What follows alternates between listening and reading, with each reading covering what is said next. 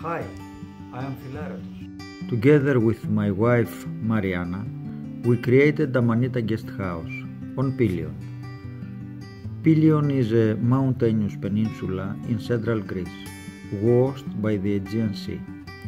It is a unique corner of Greece, unspoiled from mass tourism. Our guest house is situated in the village of Tsagarada, on the eastern slopes of the mountain, in a truly privileged location between mountain and sea. Amanita Guest House is the ideal destination for relaxation and detoxification from the hectic modern lifestyle. The buildings of the guest house are surrounded by a large organic garden. Our guests have easy access to some of the most beautiful beaches of the Aegean and may join our walking tours to collect wild herbs, sprouts, and mushrooms, as well as our kitchen lessons and workshops about the use of herbs for culinary and medicinal purposes. Our famous breakfast makes use of organic fruit and vegetables from our garden. For more than 10 years now, we make efforts to reveal and creatively use the culinary culture of our area.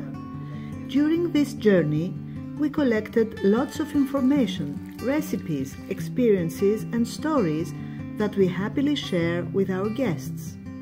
It was their enthusiasm about this material that inspired us to write it down. They helped us realize that it is much more than just a bunch of recipes.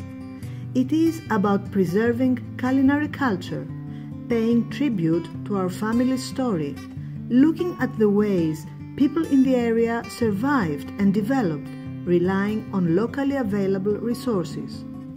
We created a book with 34 stories and 63 recipes, combining past and present, mountain and sea, the vegetable and the herb garden, and ending up around a table full of goodies in our courtyard, like every Greek feast does.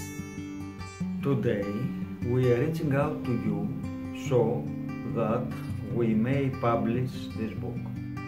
Help us preserve the culinary heritage of our region and share the experience of living in this unique place with people all over the world.